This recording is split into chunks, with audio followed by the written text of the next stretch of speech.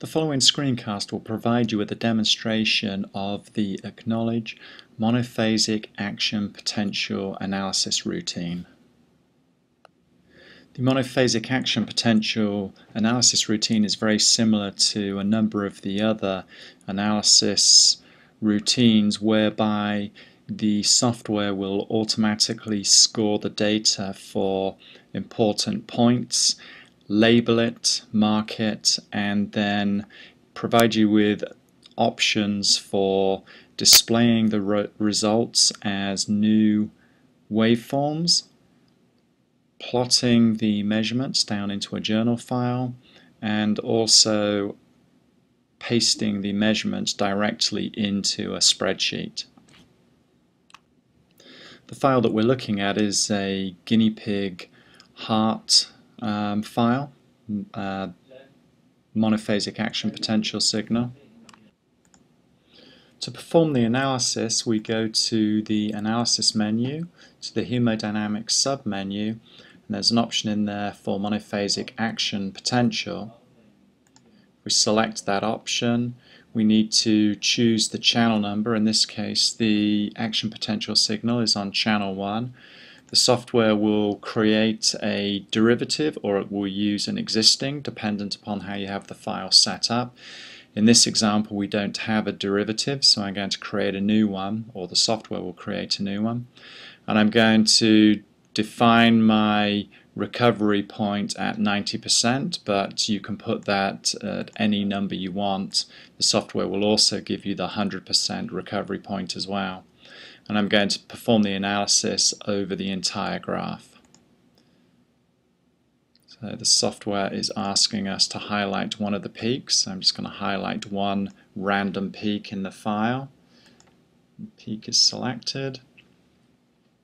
Now the software is going through, it's created the derivative channel, which is the second channel, the green one down below, and it's going through and scoring the waveforms and then once it's performed the scoring it will then go through and extract the measurement values and paste them into our spreadsheet file.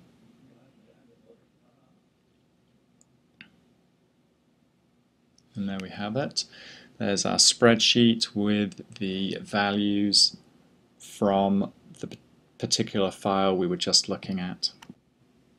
As with all the analysis routines, the data is nicely organized in columns with headers along the top. So the cycle number down the first column, time, rate, and then we've got the end diastolic voltage, the maximum voltage, minimum voltage, the plateau voltage, and that's the value of the signal at the start of the plateau after the completion of the upstroke. The stroke amplitude, and the stroke amplitude is the voltage interval between the plateau and the upstroke voltage.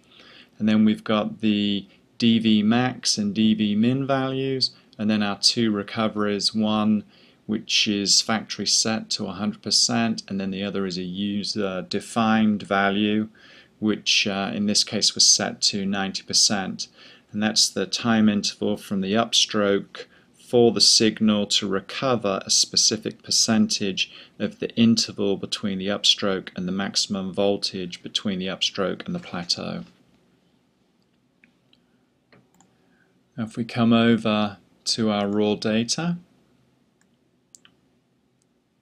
can zoom in a little bit and we can pick this one here. Okay, so there's our upstroke, the maximum, and recovery on the plateau, and there's our 90 and our 100% marks. And then the derivative is marked for the zero crossing and for maximum um, value for the, the derivative. Zoom back out and there's our data. And that concludes our demonstration of the monophasic action potential analysis routine.